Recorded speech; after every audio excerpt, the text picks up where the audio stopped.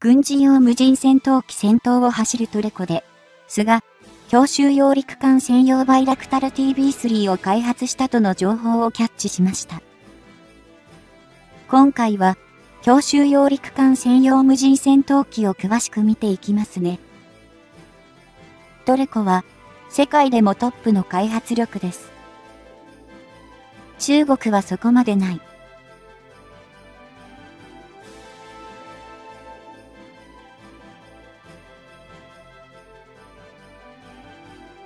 2020年のナゴルノカラバフ紛争では、アゼルバイジャン軍がアルメニア軍への攻撃や偵察行動に使用し、その一連の戦いの勝利に大きく貢献したとして名を挙げた無人航空機として、トルコのバイラクタル TB2 の存在があった。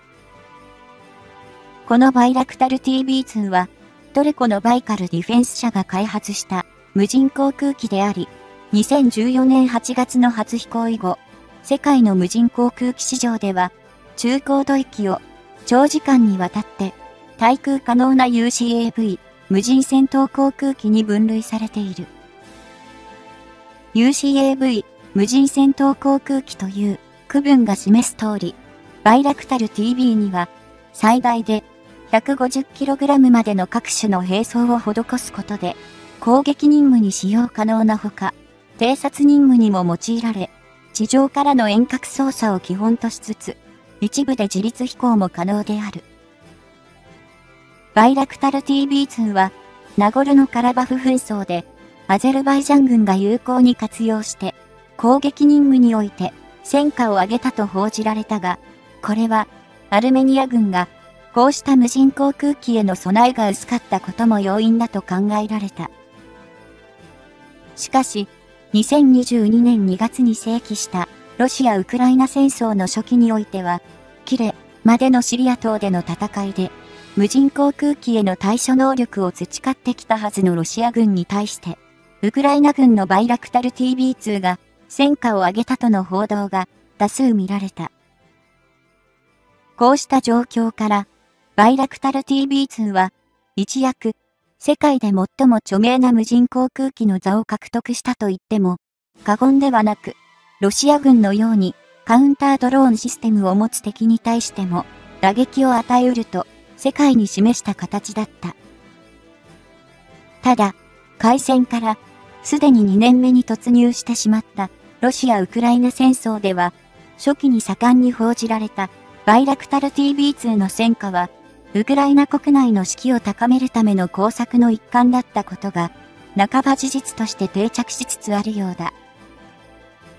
これは、多方面から、ロシア軍の侵攻を受け、一歩間違えれば、首都のキーウすら、早期に陥落する恐れすらあったウクライナ側として、当然の、いわば情報戦とも言うべきもので、自国民の士気を鼓舞する必要に迫られたことによる対応だったのだろう。一時期は、ロシアの国会艦隊の機関であったミサイル巡洋艦、モスクワの沈没に関しても、ウクライナ側の地対艦ミサイルでの攻撃の陽動として、バイラクタル TB2 が使用されたとの報道もあったが、かなり眉唾な感は否めない。戦局の変化に伴い、こうした、かなり、無理やりにウクライナ軍が前線していることに結びつける宣伝工作は、少なくともバイラクタル TB2 については下火となっており、最近ではそれに言及する報道はほとんど見かけない。そんな状況下だが、これまでにバイラクタル TB2 のおかげで、世界的に知名度を著しく向上させたトルコのバイカルディフェンス社は、2023年3月27日に、新型の無人航空機である UCAV、無人戦闘航空機を新たに世に送り出した。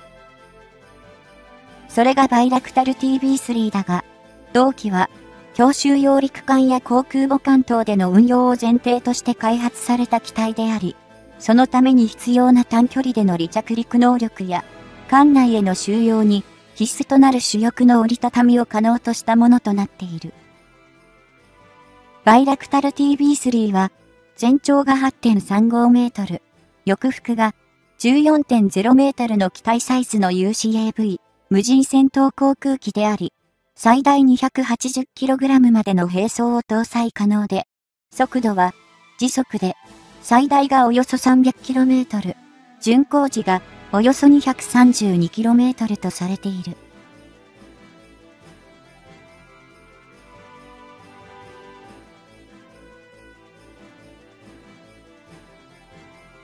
ちなみに、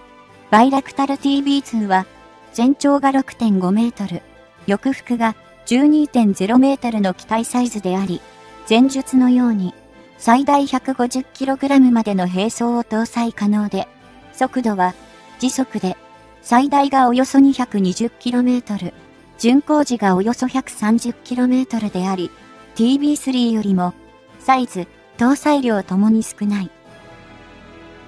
バイラクタル TB3 は TB2 に比べて機体サイズ自体を大型化させていることが伺え、デザイン的には TB2 の延長線上にあると言って差し支えなさそうだが、何と言っても、並走の搭載量をほぼ倍増させており、実施可能な作戦の幅を広げているように感じられる。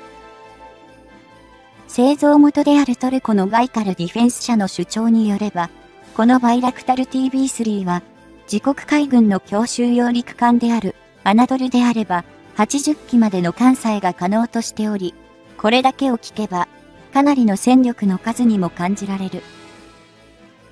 強襲揚陸艦等で、バイラクタル TB3 を運用する場合でも、同機は、有人航空機に比べれば、はるかに小型で軽量でもあることから、通常の航空母艦のように、発艦時に、カタパルト、着艦時にアレスティングギア等の装備は必要としないという。そのため、世界で運用中の数多くの強襲揚陸艦や航空母艦でも、バイラクタル TB3 を運用することのハードルは低いと、バイカルディフェンス社は見込んでいるようで、TB2 で築き上げた一定の評価をもとに、セールスの拡大を期としている。もともと、同社はヘリコプター搭載護衛艦の出雲、型2隻に対し、航空母艦化改修を進めている日本も、その可能性を持つ国だと認識しており、これまでにも、出雲、型護衛艦等に向けた自社製品のアピールを行ってきた経緯もある。今や、日本も、イギリスやイタリアとの3カ国による次期戦闘機開発を GCAP、グローバルコンバットエアープログラムとして2022年12月より正式に開始しており、従来までのようなアメリカ編長の装備の調達にも変化の兆しは起こっている。しかし、個人的には、いかに日本でこうした特定の分野での進展の動きも見られる現状とはいえ、日本がトルコから無人航空機を調達する可能性というのは、甚だ考えづらいのではないかというのが正直な感想である。トルコは NAT の加盟国とはいえ、と、アメリカからの反対と圧力を無視して、ロシアから S400 地対空ミサイルシステムの調達を強行した過去があり、政治的には、そこまでアメリカにした国と日本が接近する可能性は低いのではないだろうか。ロシア・ウクライナ戦争の初期に、バイラクタル TB2 が非常に多くメディアに取り上げられ、大気な注目を集めた際には、今後は日本もこうした分野の無人航空機を国産化が無理ならばどこからか調達するしかないというムードは少なからずあった。